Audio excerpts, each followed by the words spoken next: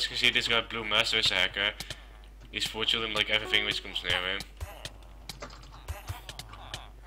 See, he's just hit, he's, he just doesn't even look at them and he still is hitting. And his range is very big. Daniel's gonna plan for you. Obviously.